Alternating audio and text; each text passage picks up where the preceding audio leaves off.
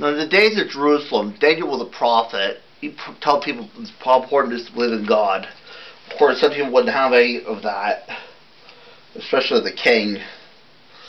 I've had enough of all this. I have to deal with this. Daniel, I want you to stop preaching about the Word of God. But it's important to believe in God. Why it's important to have belief in God. I had enough of this. Throw him to the lions. So Daniel was thrown to the lions. And boy, the lions were they were mean, they were nasty, they were hungry. Anyway, Daniel prayed to God for forgiveness. Is, is Daniel destroyed? Let me see. And the king looked. The lions were acting as tame as pussycats. What? Get out of there! How could this be? This is why to live in God for some things. But the king gave up his evil ways, believed in God. Everyone have found faith.